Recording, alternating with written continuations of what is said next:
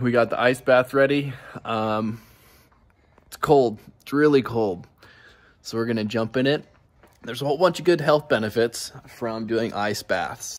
One of the benefits is after exercising, it has to do with recovering for your muscles. So if you like to go to the gym, exercising, biking, that is something that I've heard, which is really good. Okay, so we're about to get ready to get in. I'm a little nervous. I haven't done this before, so um, we'll see how it how it's gonna be. Okay. okay, think of all the good benefits. There's lots of good benefits from this. So we're gonna jump in and kind of show you what it's gonna be like. Holy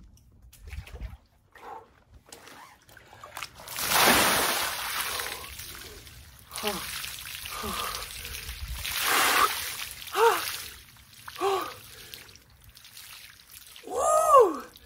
It's cold. It's cold. So, um, yeah, supposedly there's a whole bunch of good things from it. So we're going to see how it's going to be like. Cold therapy. Okay, it's not as getting as bad. Kind of getting used to it. But hands down, if you're looking for a great um, cold plunging product, uh, this is a great one to do. Also, I give you a full detail of how to assemble it. So if you want to watch till the end, I will show you a step-by-step -step how to do that. Check it out. So I'll do a quick unboxing for you to show kind of how it works. Those are the poles that are going to line the outside of it. And when you first open it up, it's just going to give you a whole bunch of pieces right there. There's the bag.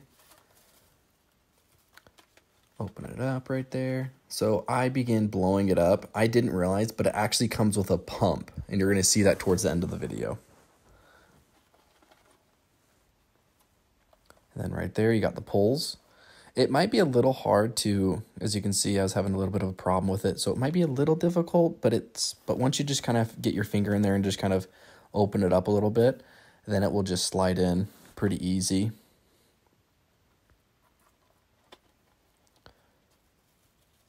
There's the pump. I'm like, oh my gosh, it comes with a pump. It's an air compressor. And this is how you use it. You just put it in there, and then you just squeeze it with your hand. It's pretty easy.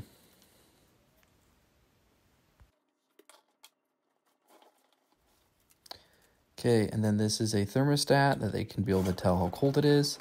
And then that little valve shut off, you need to tighten it before um, you add water to it. And then that's a bag that you can be able to collapse it down and take it with you if you never need to. Then that is a drain that you can be able to hook up to it and it extends out and then you can drain it if you need to. Also, what is nice is they give you a rubber gasket, another one that you can be able to change out. But hands down, it was pretty easy to install. So if you're looking to purchase one, I would do it.